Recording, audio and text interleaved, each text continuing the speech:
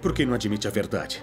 Por que só quer capturá-los com sua superstição primitiva? O que eu quero mesmo é que façam a sua própria escolha. É isso que Deus quer. Você não faz ideia de quanto me agrada reprovar É, mas você. quem você quer mesmo reprovar? Hein, professor? Eu? Ou Deus?